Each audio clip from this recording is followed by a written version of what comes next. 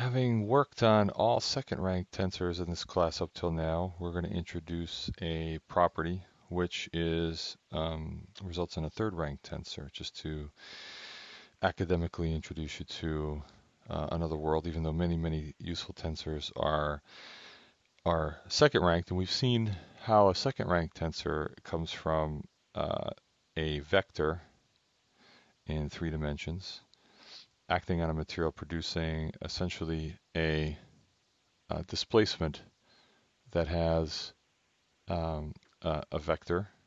It's a vector displacement. And then we said, aha, actually, um, you know, some of these second rank tensors can be the applied uh, a force, and you get an, um, a field a tensor. So it's not a property tensor, but it's a field tensor. And we had two field tensors that we'll come back to in a minute, which were stress and strain.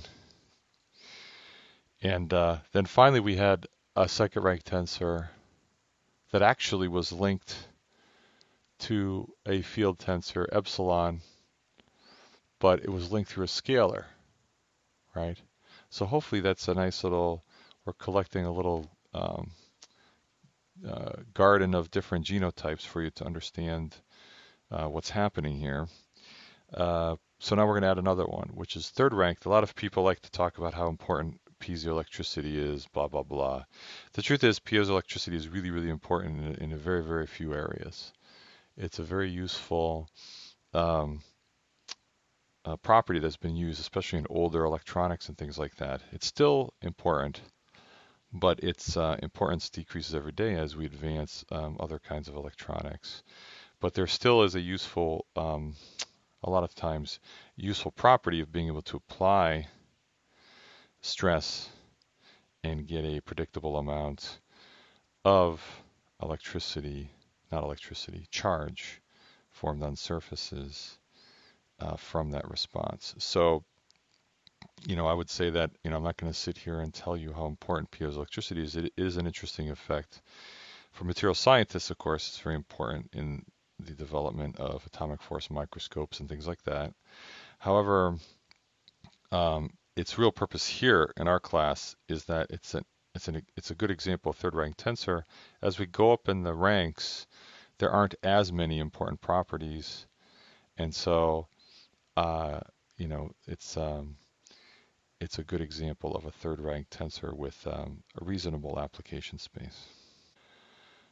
So uh, just to remind you, we've already covered this before, a general thing about um, uh, dipoles. We saw this in um, our uh,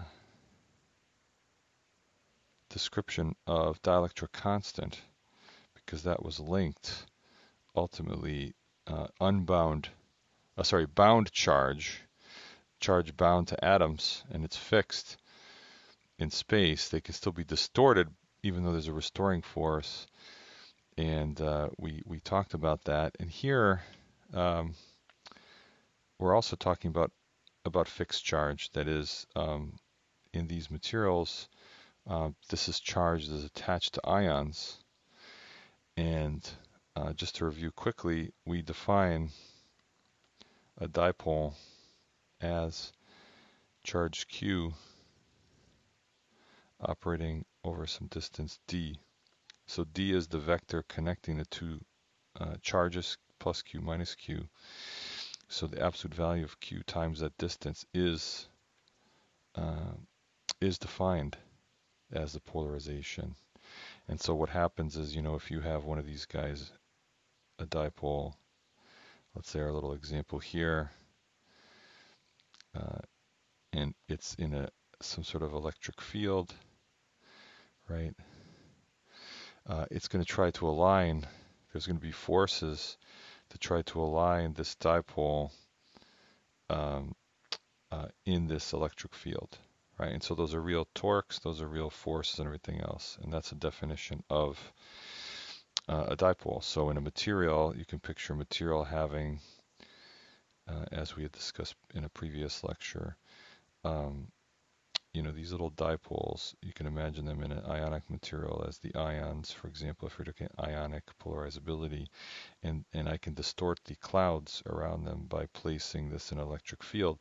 What that looks like it does is it looks like it creates charge on a surface and then a negative charge on the bottom surface. Now remember that Maxwell's equations does this in a way that um, uh, this looks experimentally like the charge appears on the surface.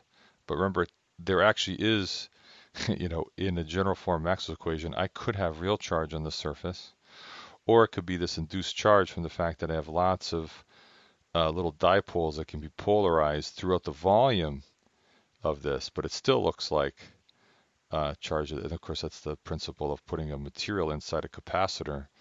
Um, I can have all the little dipoles in the volume add up and create essentially uh, induced charge on the surface, which can then interact with true free charge, which is on the parallel plate, parallel plate capacitors. So this is something that always confuses students, and it's really the nature. If you look at the math, the way that the um, uh, the um, the equations are for Maxwell's uh, Maxwell's equations, they're set up with a symmetry that uh, in displacement uh, you have a dielectric constant in a field, right? And so uh, uh, there again you have uh, a field tensor, the response, which is called displacement, and actually uh, inside epsilon. It depends on how you write it, but uh, this is related to both the uh, and the way to think about total polarization P, it's uh, related to uh, the number of little dipoles I have per volume, and that relates to big P. And then in Maxwell's equations, that comes out to be a surface-related uh, type phenomena. It could be real charge on the surface, or it could be these little dipole moments through the volume, which then essentially induce, uh, look like they're inducing charge on, on the surfaces. Okay, so uh, enough of that, but this P is essentially the polarization is the big property that we're we're after in our current mission of piezoelectricity because it's this overall polarization on the material that we're interested in as we apply uh, stress. So P here is a vector. So you can already see why this is going to be interesting because as we know, stress is um, a tensor, and it's a field tensor, right? So what that means is that I need to have a new proportionality. Oops, and I made a mistake already. So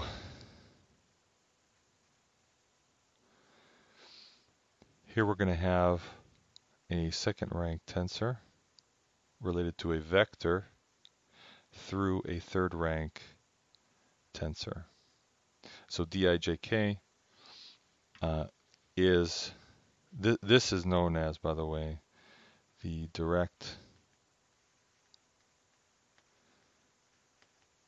piezo electric effect.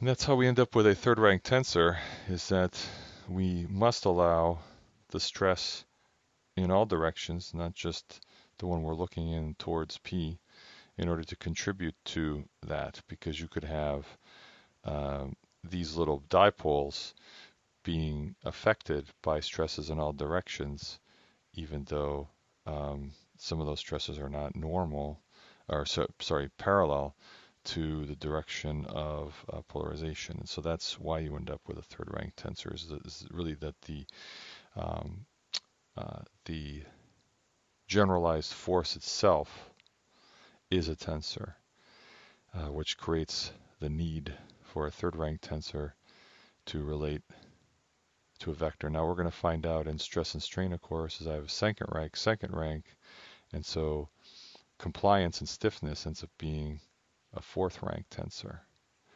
Right, so we're just building up our toolkit of examples of materials properties, and hopefully you can uh, see how this uh, has evolved. So what this means, of course, is that the more uh, the, the, more of these that you have, the more complicated it gets. Um, let's, if I have a second rank tensor and I have nine components in it, you know, sigma 1, 1, sigma 1, 2, sigma 1, 3, sigma 2, 2, etc. And then I have uh, a vector, as you know, there's three there. That means that there's 27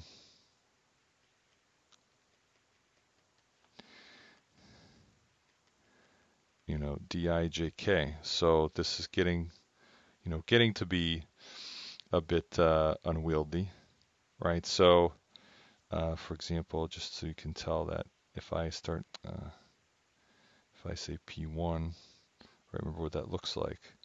That means that that equals uh, D1, 1, 1, sigma 1, 1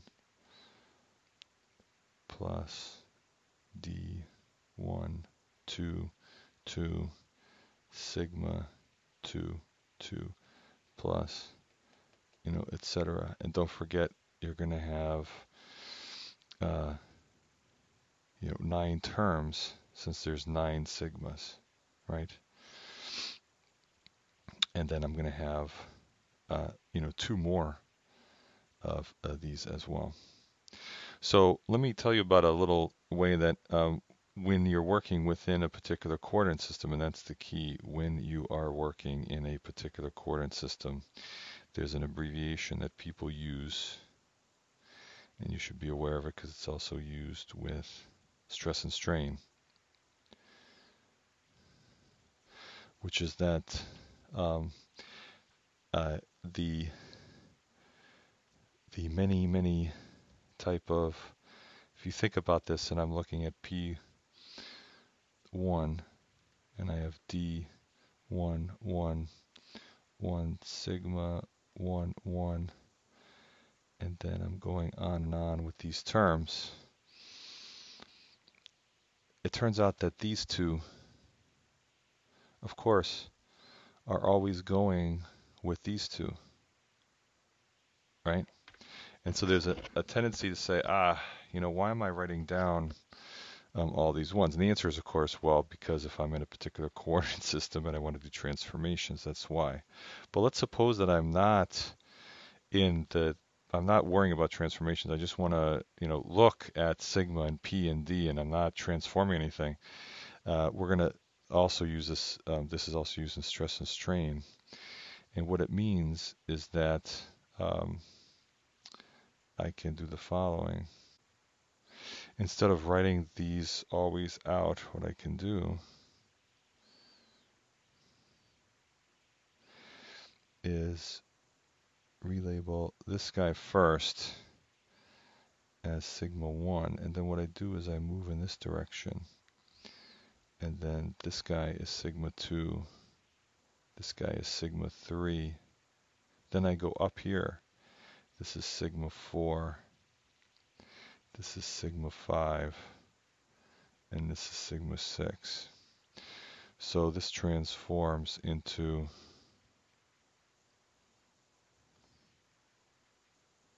as I said, you've probably seen this. You probably have seen this, and that allows you to then up here, of course, this could be written as sigma 1, and this could be written as D11. So very nice condensation uh, of, of the notation.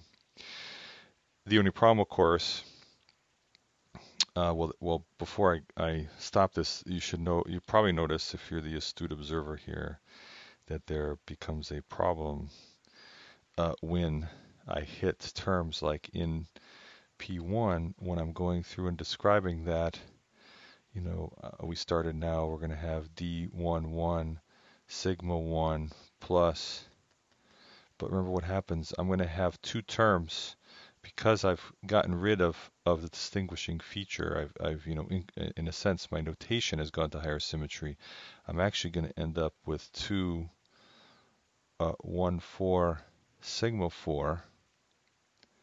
And even when I do that, you see what I'm assuming is that D1, 4 equals D132 plus D one, two, three.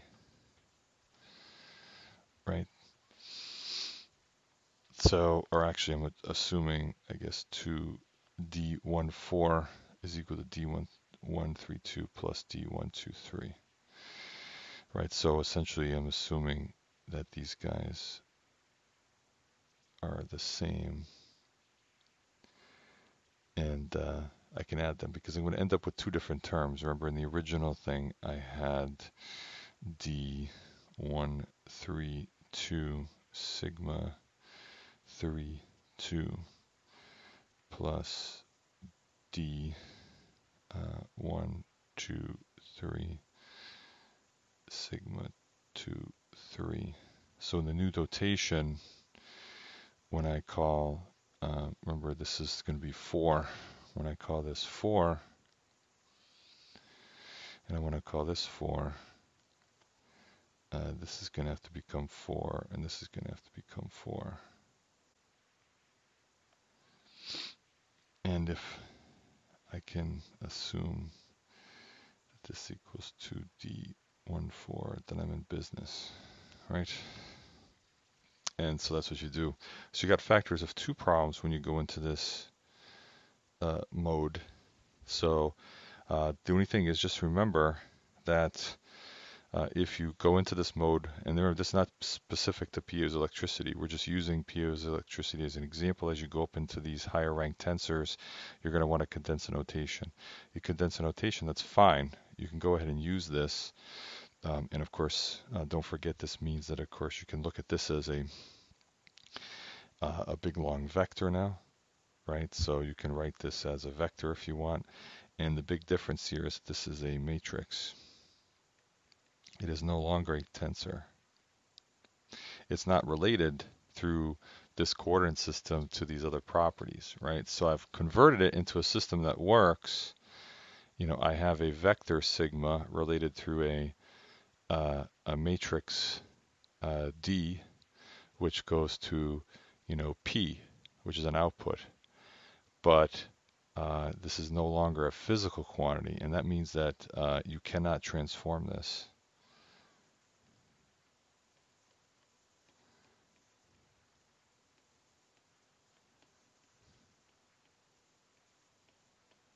So you have to rotate, you have to go back, if you're going to use this notation, you have to go back into the full notation in order to transformation of axes and things like that.